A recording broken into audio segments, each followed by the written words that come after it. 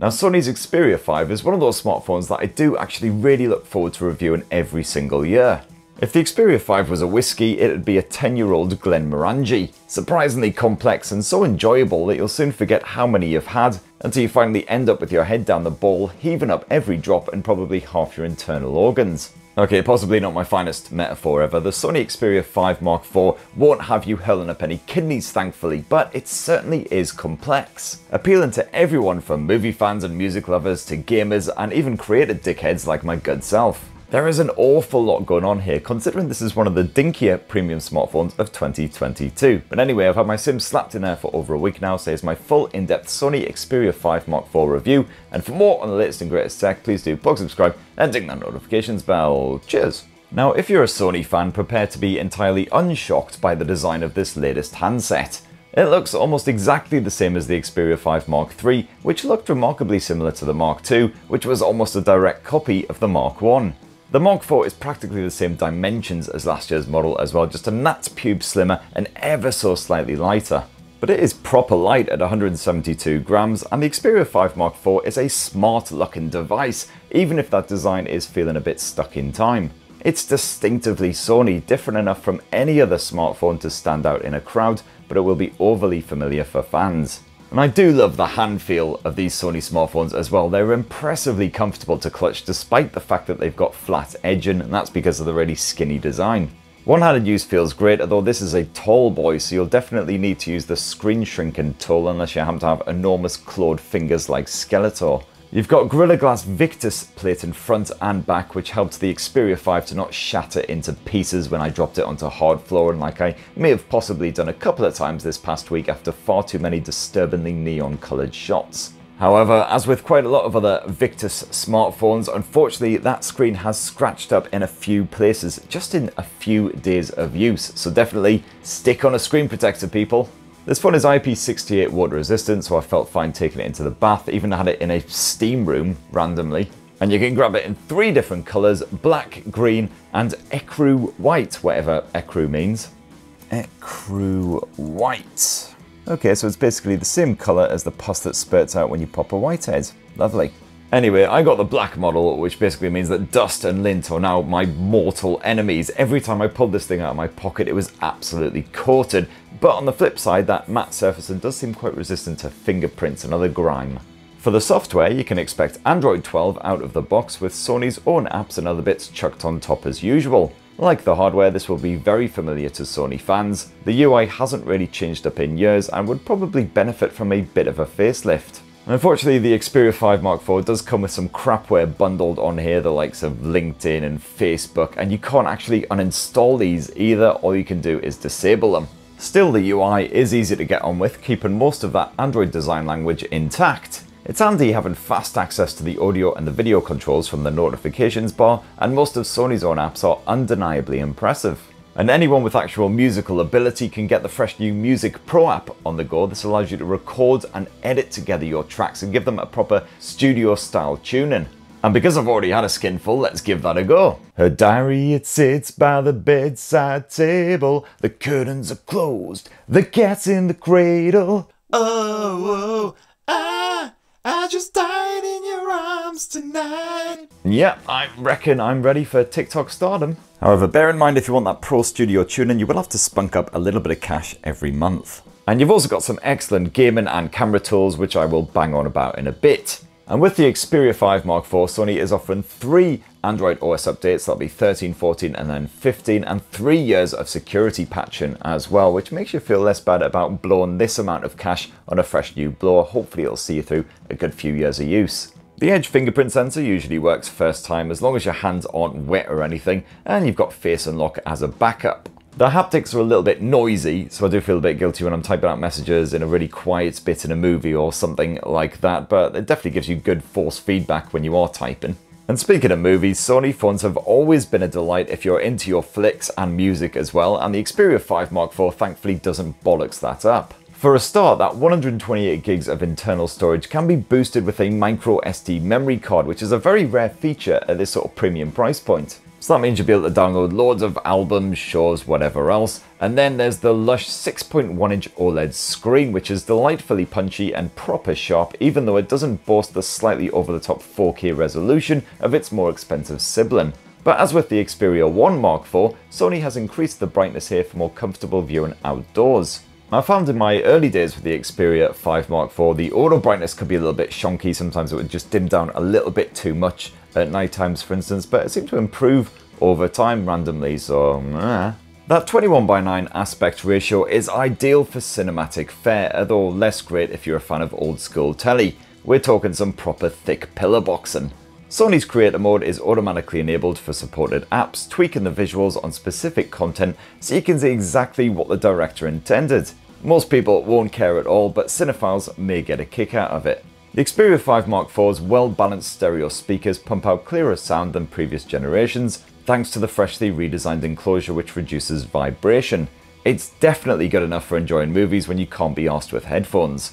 All of Sony's usual audio tools are once again on board, including Digital Sound Enhancement Engine Ultimate for making crappy or low-res tracks sound less crappy. You've got a 3.5mm headphone jack, you've got high-res audio support, you've got LDAC and high-res audio wireless support if you're using a bit of Bluetooth streaming, the whole bloody shebang, and as a big music fan, I definitely enjoyed listening to my tracks on this thing. So now, performance on the Xperia 5 Mark IV is unfortunately behind the times a bit as Qualcomm's Snapdragon 8 Gen 1 chipset has been stuffed inside, not the 8 Plus Gen 1 like most other top-end Androids. All the same, the everyday running is perfectly smooth, helped along by the screen's 120Hz refresh rate. And if you're a gamer, you're gonna love the Xperia 5 Mark IV as much as movie and music fans. Genshin Impact and other resource guzzling Android titles play perfectly. That frame rate is stable even at the highest possible graphics settings, though the arse end of the phone does get pretty bloody warm pretty bloody fast. Thankfully it didn't get so toasty that the performance suffered or so my fingers started to sweat, even when I had been gaming for quite some time. And if you're into some Call of Duty Mobile, well that Morpho plays at a super fluid 120 frames per second, with a pleasingly wide view of the action so those cheeky chaps on the other team can't creep up on your flank and put one right in your ear. You've got Sony's usual Game Enhancer gaming tools stuffed on here as well, including some fresh new streaming features if you're not absolutely mortified at how badly you suck at games like I am, you actually want to share your performance with the world. You got the usual performance boosting shenanigans, display tweaking tools, and a battery bypass feature if you want to charge and game at the same time. Although the Xperia 5 still gets rather toasty, so probably best avoided where possible. And on the battery front, it's pretty good news all round because the Sony Xperia 5 Mark IV packs in a 5000 mAh battery which is considerably bigger than last year's 4500 mAh effort. Only one day in the past week did it actually die before I managed to stumble into bed and that was because, to be fair, I got up at 5.30am and then didn't go to bed until 3am the following day. You can blame that one on Munich and these enormous steins. Most days I managed to get at least 6 hours of screen on time from a full charge and that was making liberal use of the old camera tech as well, so definitely good stuff. And in further good news, especially if you can't bloody stand USB cables for whatever reason, the Xperia 5 Mark IV now supports wireless charging, although there's no wireless charging pad or power adapter or pretty much anything at all bundled in the box, you will have to provide your own.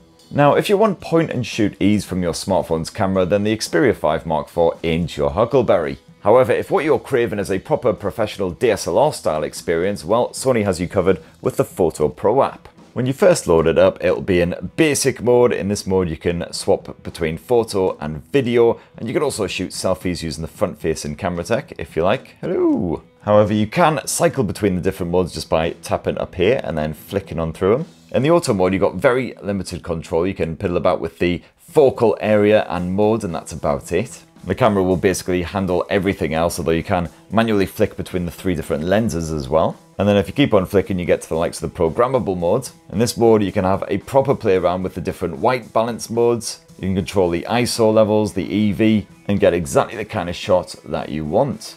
The Xperia 5 Mark IV's 12meg 24mm primary sensor with optical image stabilization can generally capture good looking pics on auto mode with minimal input and no heavy processing but it does saturate HDR shots and it can struggle in all kinds of tricky lighting. The best performance comes from the program mode where you can quickly tinker with that EV, the ISO, etc. and you get to see the results accurately represented on screen. With some time and care you can get some great looking shots even when the light is in full on twat mode. and it's very rare to see any lens flare or other issues like that. As well as that 24mm lens, you've got a 12 megapixel 16mm shooter that can capture an ultra wide snap when you need to fit more into frame, albeit with the usual impact on color temperature. And you've also got a 12 meg telephoto shooter slapped on the back end, although it's not a variable range zoom lens like what you got in the Xperia 1. This one is locked at 60 mils, unfortunately, due to the general space constraints on this smartphone. This maxes out at a 7.5 times total zoom and the results are comparable to simple digital crops on ultra high res smartphone sensors, but it is still handy for getting a closer view of the action when you're shooting scenery or an unobtrusive family shot.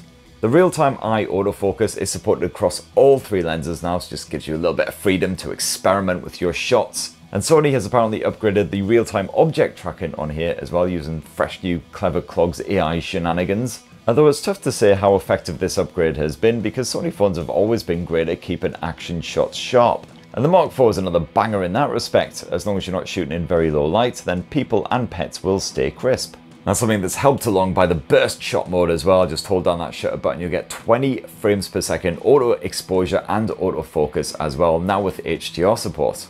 For home movies, you'll want to swap to the Cinema Pro app. And in here you can shoot 4K video at up to 120 frames per second, again with all three lenses, and once again with full control over the camera settings and focus. However, shooting 4K footage at 30 frames per second, even just for a couple of minutes or so, does often cause a big fat nasty warning, warning, phone is overheating message to flash up on the screen, which then disables a load of the features. So unless you're capturing really short clips, you do unfortunately tend to have to stick to full HD resolution.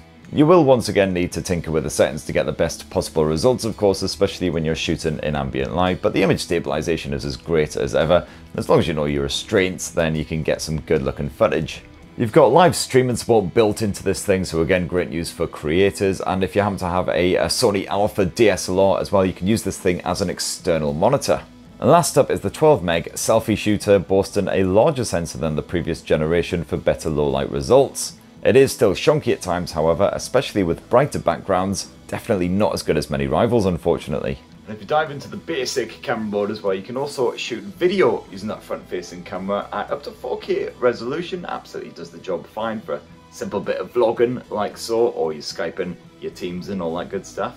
And that right there, my lovelies, is my full final frank review of the Sony Xperia 5 Mark IV. A certain improvement in some areas, certainly the battery life is absolutely bloody lovely. On this thing now you've got that wireless charging support of course. There's a lot of reasons to get this thing if you're a big movie fan, if you're a gamer, or, of course a music lover, especially if you're a music creator now. Unfortunately, it isn't cheap. It's got some issues like the overheating when you are using that camera. An issue that might have been abated by using the latest, freshest Snapdragon 8 Plus Gen 1, which unfortunately Sony didn't. Anyway, that's what this bold northern twat reckons. But what about you guys? Are you tempted by the Sony Xperia 5 Mark IV? Or even better, have you been using it? What are your thoughts so far? Let me know down in the comments below. Please do plug, subscribe, and ding that notifications bell for more on the latest and greatest tech. And have yourselves a ruddy, wonderful rest of the week. Cheers, everyone. Love you.